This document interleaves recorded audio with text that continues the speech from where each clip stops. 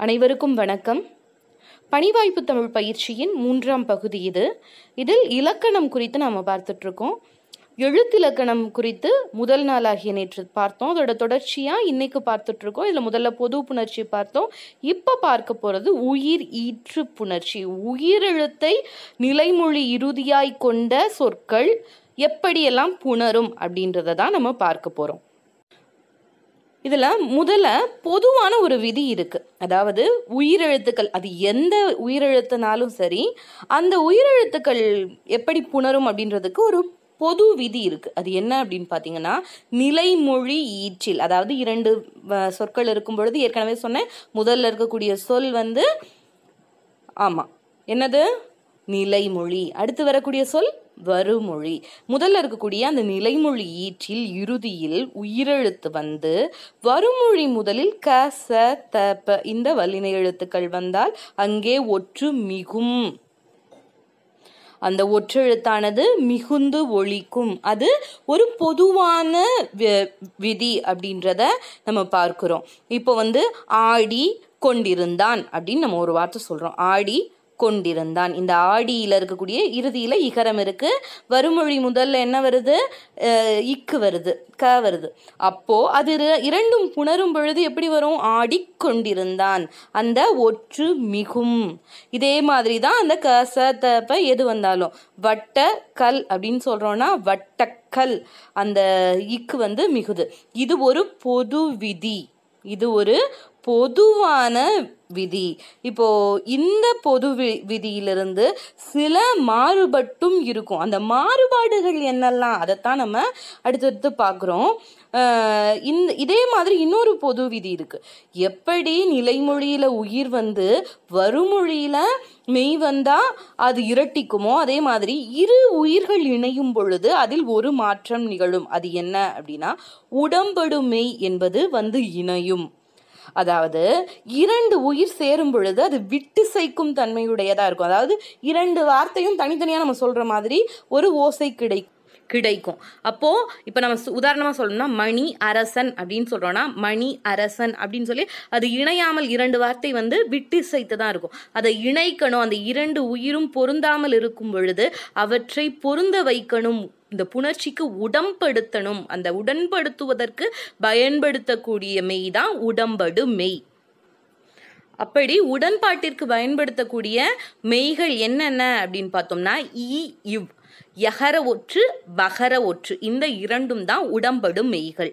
அது எங்கெங்க எங்கெல்லாம் யகர ஒற்று வரும் எங்கெல்லாம் வகர ஒற்று வரும் அப்படின்னு பார்த்தோம்னா இ ஈ ஐ. இகரம் ஈகாரம் ஐகாரம் இந்த மூன்று எழுத்துக்களும் நிலைமொழி ஈரா இருந்தா இறுதியில் இ ஈ ஐயை கொண்ட வார்த்தைகள் வருது அப்படின்னா அங்கே யகர ஒற்று வந்து சேரும். அகரம் ஆகாரம் உகரம் ஊகாரம் எஹரம் ஒஹரம் ஓஹாரம் ஔகாரம் இந்த எழுத்துக்கள் வரும் பொழுது இந்த எட்டு எழுத்துக்களும் வரும் பொழுது அங்க வகரம் வந்து சேரும். வகர ஒற்று இவ்வு வந்து சேரும். இதுவே வந்து ஏகாரம் இருந்துச்சுன்னா சில இடங்களில் அது வந்து எகரமையையும் பெற்று வரும் சில இடங்களில் வகரமையையும் பெற்று வரும். இரண்டும் வந்து ஏகாரத்திற்கு பொருந்தி வரும் அப்படின்றத பார்க்குறோம். இப்போது மணி அரசன் ஏற்கனவே சொன்னேன்ல மணி அரசன் அப்படின்னு சொல்லும்போது அந்த நிலைமொழி இறுதியில் இகரம் வருது. அப்போ அதை எப்படி சொல்லுவோம்? மணியரசன் மணியரசு அப்படிதானே சொல்கிறோம் அதுதான். அடுத்து இன்னொரு சான்று இந்த அடுத்ததுக்கு பார்த்தோம் அப்படின்னா ஓக்கு ஒரு சான்று சொல்கிறேன் இது நமக்கு எப்பயுமே குழப்பமாக இருக்கக்கூடிய நம்ம மாற்றி பயன்படுத்தக்கூடிய ஒரு சொல். என்ன அப்படின்னு பார்த்தோம்னா கோக்கு கோயில். கோ இல். இது இரண்டும் சேர்ந்து வரக்கூடியது தான் கோவில். ஆக்சுவலாக அங்கே என்ன வரணும் அப்படின்னா வகர ஒற்று தான் வரணும். கோ அப்படின்றது ஓகாரம் இப்போ கோவும் இயும் சேரும்போது வகர ஒற்று வரணும். அப்போ அது கோவில் அப்படின்னு தான் வரணும். ஆனால் வந்து நம்ம இதில் வந்து அது இல்லாவே நம்ம பயன்படுத்திட்டு இருக்கோம். கோவின் இல் ஓகே. அப்போ அதுதான். கோவில் வருது இல்லையா? அந்த இதுதான் வந்து வகர ஒற்று சேர்ந்து வர்றதுக்கு சான்று. அப்போ உட உயிரும் உயிரும் ஒன்றும் பொழுது அங்கு விட்டிசை தோன்றும். அதை நிறைத்து இரண்டையும் உடன்படுத்துவதற்கு பயன்படுத்தக்கூடியது உடம்படுமைகள். உடம்படுமைகள் இரண்டு யகரம் வகரம். எகர யகர ஒற்று வகர ஒற்று. இ இ ஐ மூன்றும் வரும்பொழுது யகர ஒற்று. அ ஆ உ உ ஏ ஓ ஓ ஔ. இதுக்கெல்லாம் வகர ஒற்று ஏகாரத்திற்கு யகரம் உகர யகரம் வகரம். இரண்டு ஒற்றுக்களும் வரும் அப்படின்றத தெரிஞ்சுக்குவோம். இதுதான் உயிரும் உயிரும் வரும் பொழுது வரக்கூடிய புணர்ச்சி புணர்ச்சிக்கான அடிப்படை விதி அப்படின்றத பார்க்குறோம். அடுத்ததாக நாம் பார்க்க போகிறது என்ன அப்படின்னு பார்த்தீங்கன்னா அகர ஈற்று வரும்பொழுது இப்போ நம்ம பார்த்ததெல்லாம் பொதுவானவை. இதை தாண்டி அகர ஈற்று புணர்ச்சி வரும்பொழுது அதாவது சில இடங்களில் இந்த பொதுவான தன்மையிலிருந்து மாறுபட்டு ஒவ்வொரு வா ஒவ்வொரு எழுத்துலையும் வந்து சில மாற்றங்கள் நிகழும். அதை பற்றி நம்ம விரிவாக பார்க்க போகிறோம் முதல்ல நம்ம பொதுவாக என்ன பார்த்தோம்? வல்லொற்று வருது வருமொழியில் நிலைமொழி இறுதியில் உயிர் ஈர் இருக்குது அப்படின்னா என்ன வரும்?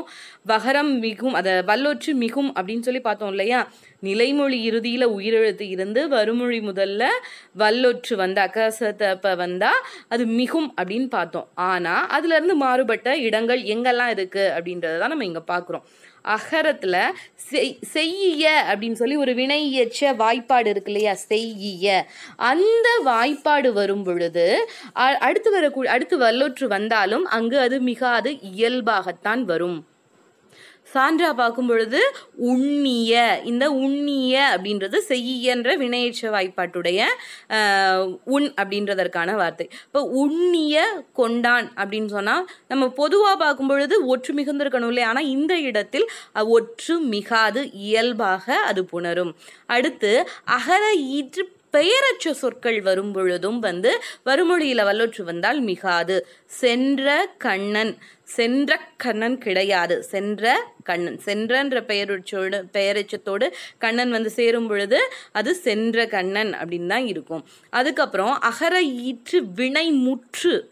வினை முற்று அகர ஈற்று வினை முற்று வரும் பொழுதும் கூட வல்லொற்று வருமொழியில் வந்தால் அங்கு புணர். அது வந்து இயல்பாகத்தான் புணரும் வல்லொற்று மிகாது. உண்ட சென்னாய் உண்டன சென்னாய் அப்படின்னு சொல்லும்போது உண்டனன்றதுல அகரம்ன்ற உயிரெழுத்து தான் இறுதியில் வந்திருக்கு. ஆனாலும் அது வினைமுற்றாய் இருப்பதால் உண்டன சென்னாய் அப்படின்னு சொல்லி அது இயல்பாக புணரும். அடுத்ததா ஆறாம் வேற்றுமையில் பன்மையில் அ அப்படின்ற ஒரு உருபு வரும். ஆறாம் வேற்றுமையில் அகரம் அப்படின்ற உருபு எங்கே வரும்னா பன்மையில் வரும். அந்த பன்மை உருபு அது வந்து இப்போ வழக்கத்தில் இருக்கிறது கிடையாது. அந்த உருபு வந்து வரும் பொழுதும் கூட வல்லொற்று மிகாது இயல்பாய் வரும். அதுக்கு தான் நாம் அங்கே சான்று பார்க்குறோம். தன கைகள் என்பது தன கைகள் அப்படின்னு சொல்லி இயல்பாய் புரிஞ்சிருக்கு. தனது அப்படின்றது ஒருமைக்கானது தன அப்படின்றது பன்மைக்கானது. அடுத்து நம்ம பார்க்கக்கூடியது இன்னும் சில அக அகர ஈற்று புணர்ச்சிக்கான சிறப்பு விகுதி சிறப்பு விகுதி விதிகள்.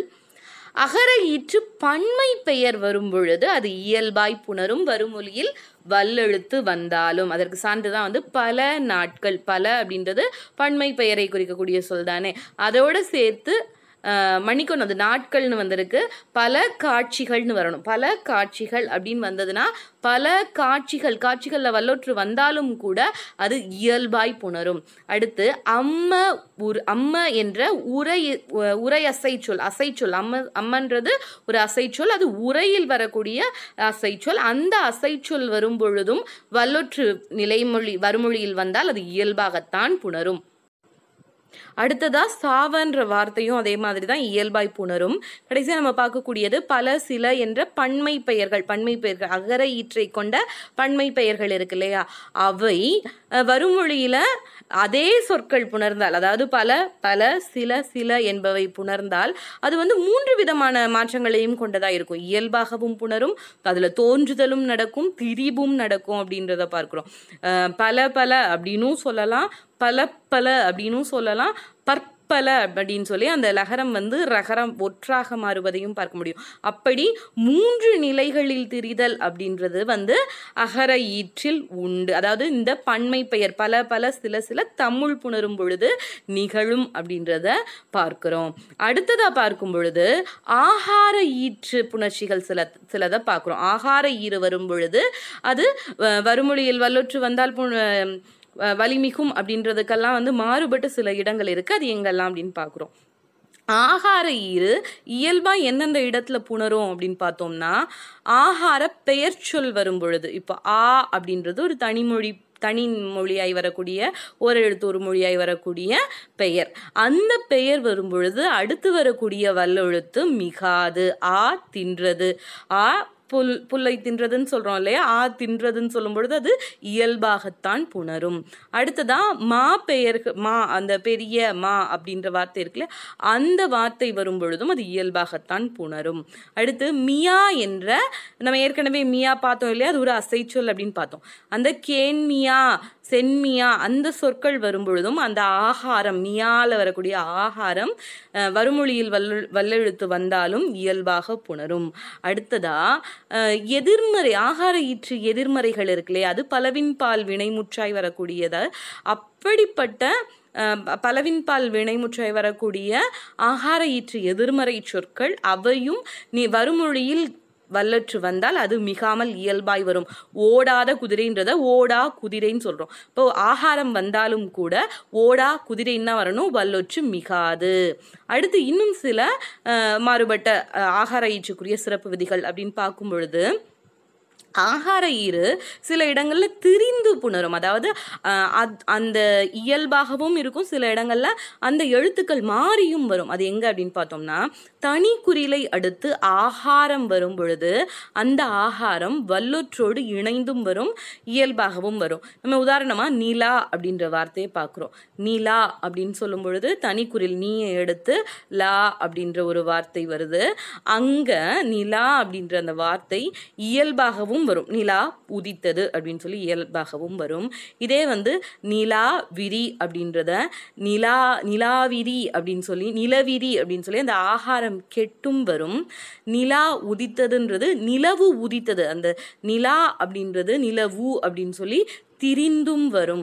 இப்படி மூன்று விதமான புணர்ச்சிகளும் இந்த ஆகார ஈற்றில் சில நேரம் நிகழ்வது உண்டு. எங்க? தனிக்குறிலை அடுத்து ஆகாரம் வரும் பொழுது இப்படிப்பட்ட மாற்றம் நிகழ்வதை நாம பார்க்க முடியுது. இயல்பாய் வல்லெழுத்து வந்தால் அது புணரும் இல்லையா? அதுலேருந்து மாறி சில இடங்களில் வேறு எழுத்துக்கள் உயிரெழுத்துக்கள் வரும் பொழுது கூட அது மாற்றம் பெற்று வருது அப்படின்றத பார்க்குறோம்.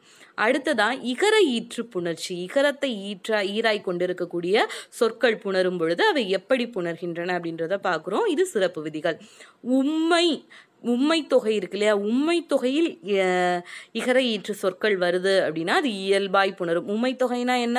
இப்போ எண் எண்ணிக்கை அடுத்தடுத்து அடுத்தடுத்து வரும் பொழுது அந்த உம் உம் சொல்லாமல் இப்போ தமிழும் அறிவியலும் கணிதமும் அப்படின்னு சொல்லும் பொழுது அந்த உம் சொல்லாம அதை வந்து உம் மறைந்து வரக்கூடியது உண்மை தொகை. அப்படி வரக்கூடிய சொற்கள் இகர ஈற்றை கொண்டால். அதான் இங்க பார்க்குறோம். செடி கொடி. இந்த இரண்டுமே வந்து இகரை ஈற்றை கொண்ட சொல் தான். அப்போ முன் முதல்ல இருக்கக்கூடிய செடிக்கு அடுத்து க அப்படின்ற வல்ல வெள்ளெழுத்து வரும்பொழுது பொதுவாக அது புணரும் பொழுது வல்லொற்று மிகணும். ஆனால் இங்கே இது உம்மை தொகையாக இருக்கும் பொழுது அந்த வல்லொற்று மிகாது இயல்பாய் வரும். அடுத்து இரு பெயரொட்டு பண்பு தொகை. அதாவது இரண்டு ப பெயர்கள் பு இணைந்து வரக்கூடிய பண்புத்தொகை சொற்கள் இருக்கு இல்லையா? அங்கேயும் முதல் பெயரில் வந்து இருக்கக்கூடிய இகரம் வந்தது அப்படின்னா அங்கே வலிமிகாது. அதற்கு தான் சான்று மார்கழி மார்கழி திங்கள். இதுலையும் வந்து அது மிகாமல் இருப்பதை நாம் பார்க்க முடியுது. அடுத்ததாக வரக்கூடியது உவமை தொகை உவமை தொகையிலையும் கூட ஒரு நிலைமொழி இது வந்து இந்த உவமை தொகைக்கு இங்க சான்று நீங்க பார்த்தா ஒரு குழப்பம் வரலாம். இது வந்து ஐகாரம் இகரம் இரண்டுக்கும் பொதுவானது. அதனால அங்க வந்து ஐகாரத்துக்குரிய சான்று வந்திருக்கு. அதாவது உவமை தொகையில ஐகாரம் இகரம் இரண்டிலுமே வந்து உவமை தொகை வருது. அங்க ஐகார ஈரா இருந்தாலும் இகர ஈரா இருந்தாலும் அங்கு வலி மிகுந்து வரும் அப்படின்றத பார்க்கும் அடுத்ததாக சில இடங்களில் அது விகற்பப்பட்டு உண்டு. விகற்பம் அப்படின்னா என்ன? இயல்பாகவும் வலி மிகுந்தும் வருவது. அப்படி வரக்கூடிய இடம் அப்படின்னு பார்த்தோம்னா இப்போ கிளி சிறியது அப்படின்னு வருது இல்லையா? அங்கே கிளின்ற வார்த்தை கிளின்ற வார்த்தை நிறைய வந்து மாறுபாடு நிறைய மாறுபாடுகளை இருக்கக்கூடியதாக இருக்குது அது கிளி சிறியது கிளிச்சிறியது அப்படின்னும் வரலாம். கிளி சிறியதுன்னு வரலாம் கிளிச்சிறியது அப்படின்னும் வரலாம். அதே மாதிரி அல்வழியில் அதாவது வேற்றுமை புணர்ச்சியில் அல்வழி புணர்ச்சியில் இ ஐ இரண்டும் அக்ரிணை பெயராய் வரும் பொழுது அக்ரிணை பெயர் அக்ரிணை பெயர் அல்வழியில் இகர ஐகார ஈற்றை பெற்று வரும் பொழுது அது இயல்பாகவும் புணரும் அதில் மிகவும் செய்யும் சில நேரம் அது விகற்பகமாகவும் வரும். அதாவது யானை கரிது அப்படின்னு சொல்கிறோம் அப்படின்னா அங்கே வந்து வற்றுமிக்காது அது யானை என்ற அக்ரிணை பெயர் இருந்தாலும் அது ஐகாரை ஈற்றை கொண்டிருந்தாலும். இதே சாரை பாம்புன்னு சொல்கிறோன்னா அங்கே வந்து நம்ம சொல்லும் போதே நமக்கே தெரியும். சாரை பாம்பு அப்படின்னு தான் சொல்லுவோம். சாரை பாம்பு அப்படின்னு சொல்ல மாட்டோம். அப்போ அங்கே வந்து ஒற்று மிகுது. சில இடங்களில் இந்த இகரத்தையும் ஐகாரத்தையும் கொண்ட அக்ரிணை பெயர் அல்வழியில் சில இடங்களில் ஒற்றுமிகும் சில இடங்களில் ஒற்றுமிக்காது சில சொற்கள் எப்படி இருக்கும்? விகற்பமாக இருக்கும். ஏற்கனவே நம்ம கிளி பார்த்தோம். அதே தான் கிளி குறிது அப்படின்றது கிளி குறிதுன்னு எழுதலாம் கிளி குறிது அப்படின்னு சொல்லியும் எழுதலாம். இப்படி மாறு மாறுபடக்கூடியதாக இருக்குது இன்னும் சில வார்த்தைகள் பார்த்தோம் அப்படின்னா அளத்தல் பெயர் இருக்கு இல்லையா? நாளி உரி அப்படின்றதெல்லாம் அளத்தல் முக இந்த முக அ- அளத்தலுடைய அளவையுடைய பெயர்கள். அந்த அளவை பெயர்கள் வரும் பொழுதும் வந்து அது வந்து மாறுபடுறத பார்க்க முடியுது. அதாவது நாழி கூட்டல் உரி அப்படின்னு வருது அப்படின்னா பார்த்தீங்கன்னா இந்த லீ இருக்கு இல்லையா? அந்த லீல இருக்கக்கூடிய இகரம் அழிஞ்சிரும். அந்த லீ வந்து கெட்டு அந்த இடத்துல டகரம் வரும். டகரம் வரும்போது அந்த இட்டும் ஊவும் சேர்ந்து அது டூவாக மாறும். நாழி கூட்டல் உரி நாடுரி அப்படின்னு மா- மாறும். இப்போ இரண்டு அளவை பெயர்கள் சேரும் பொழுது இந்த மாற்றம் நிகழுது. இன்னொன்று உரியை அடுத்து வல்லொற்று வரும் பொழுது அப் அங்கே வந்து சில நேரத்தில் யகர ஒற்று தோன்றியும் வரும். யகர ஒற்று புதிதாய் தோன்றியும் வரக்கூடியதை பார்க்க முடியுது. உரின்ற அளவை பெயரை அடுத்து வல்லொற்று வரும் பொழுது அங்கு யகர புதி புதியதாக ஒரு யகரம் தோன்றுது அப்படின்றத பார்க்குறோம் உரி பயறு அப்படின்றது உரிய பயறு அப்படின்னு சொல்லி மாறக்கூடியது. இது இன்னைக்கு வழக்கில் இல்லாதது அதனால நமக்கு இது இது ஏதோ தெரியாத ஒரு விஷயமா இருக்கும். ஆனால் இலக்கண நூலார்கள் எழுதின காலத்தில் வழக்கில் இருந்ததாக அது இருக்கு. அதுக்கப்புறம் இகர இற்று சுவை சொல் வரும் பொழுது வருமொழியில் வல்லொற்று வந்தால் அது அந்த வல்லொற்று மிகுந்தும் வரலாம் மெல்லொற்று மிகுந்தும் வரலாம். இப்போ இகர ஈற்று சுவை சொல் அப்படின்னோட நமக்கு மனசுக்கு உடனே வரக்கூடியது புளி புளிப்பு இருக்கு இல்லையா? புளி.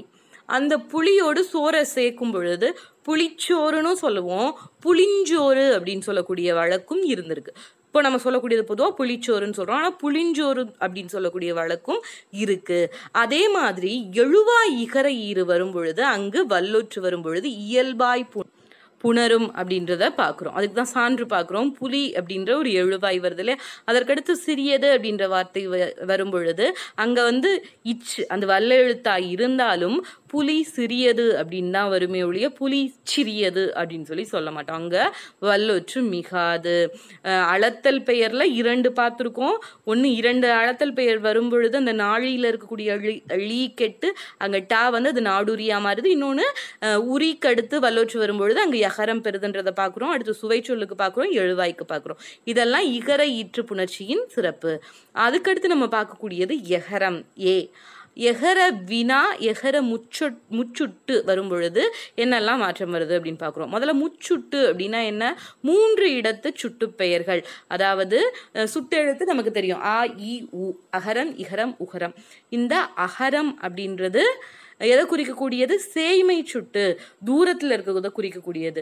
இகரம் அப்படின்றது அண்மை சுற்று. இங்கே அப்படின்னு சொல்கிறோம் இல்லையா? அங்கே இங்கே.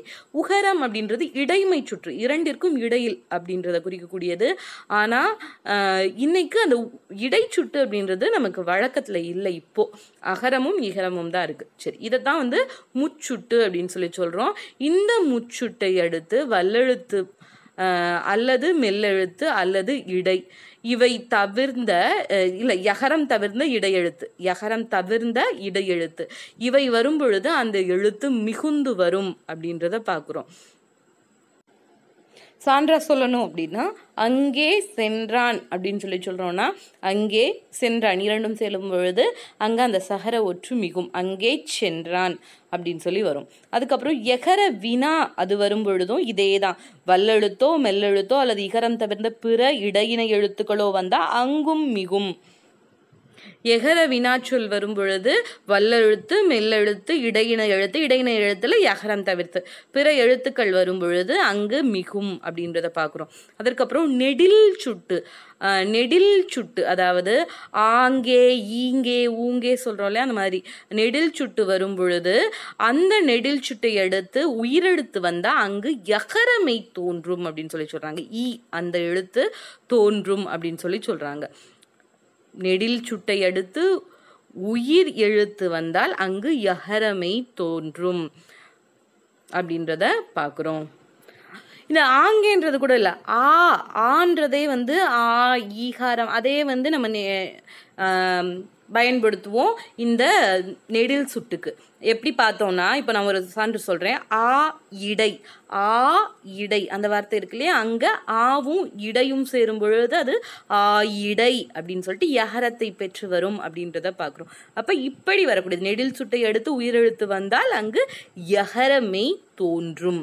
அதற்கடுத்து நம்ம பார்க்க போகிறது என்ன அப்படின்னு பார்த்தீங்கன்னா இதே தான் இந்த முச்சுட்டில் நம்ம வந்து மெல்லெழுத்து வல்லெழுத்து இடையினை எழுத்து வந்தால் என்னவாய் மாறும் அப்படின்றத ஏற்கனவே பார்த்தோம் இல்லையா? அப்படி அல்லாமல் இடையினத்தில் எகரம் அங்கே எகரம் விடுபட்டிருக்கும். அதுவும் உயிரும் வரும் பொழுது என்ன ஆகும்? அங்கு வ வகர ஒற்று தோன்றும் அப்படின்றதான் வகர ஒற்று தோன்றும். வகரம் வந்து புதியதாய் வந்து தோன்றும் அப்படின்றத பார்க்குறோம். அதுக்கப்புறம் வினா எழுத்துல எகர வினாவை எடுத்து உயிரெழுத்தும் எகரமையும் தோன்றினால் முதல் அதாவது வருமொழி முதலில் வந்தால் அங்கு வகர ஒற்று தோன்றும். இது வந்து இந்த இரண்டிற்கும் பொதுவானதாக இருக்கு முச்சுட்டாக இருக்கலாம் அல்லது எகர வினாவாக இருக்கலாம். இரண்டையும் அடுத்து உயிரெழுத்தோ அல்லது இடையினத்தில் எகரமோ தோன்றினால் அங்கு வகரம் தோன்றும் வா தோன்றும் அப்படின்றத பார்க்கிறோம். சான்றாக சொல்லணும்னா எந்த எழுத்து? இதை குறிக்கக்கூடிய ஏ எழுத்துன்னு சொல்லுவோம் இல்லையா? இப்போ ஏ எழுத்துன்னு சொல்லும் பொழுது அது இணையும் பொழுது எப்படி எழுதும்? எவ்வெழுத்து அப்படின்னு மாறுது இல்லையா? அப்படி. எவ்வெழுத்துன்னு மாறுது இல்லையா? அப்படி தான் வகரம் தோன்றுது. அதற்கடுத்து ஐகார ஈற்று புணர்ச்சி. ஐகாரத்தை இறுதியாய் கொண்ட சொற்களில் இருக்கக்கூடிய சில சிறப்பு புணர்ச்சிகளை பார்க்கிறோம். ஐகார ஈறு அப்படின்னு சொல்லும் பொழுது தென்னை இருக்கு இல்லையா? தென்னை. அது எப்படி புணருது அப்படின்றத பார்க்கலாம். முதல்ல அது வேற்றுமை வேற்றுமை வேற்றுமையில் ஐகாரம் வரும் பொழுது அங்கே வருமொழியில் வல்லினம் வந்தால். வேற்றுமையில் ஐகாரம் வரும் பொழுது வெல் வருமொழியில் வல்லெழுத்து வந்தால் கசத்தப்ப வந்தால் அங்கு அம்சாரியை பெற்று வரும்.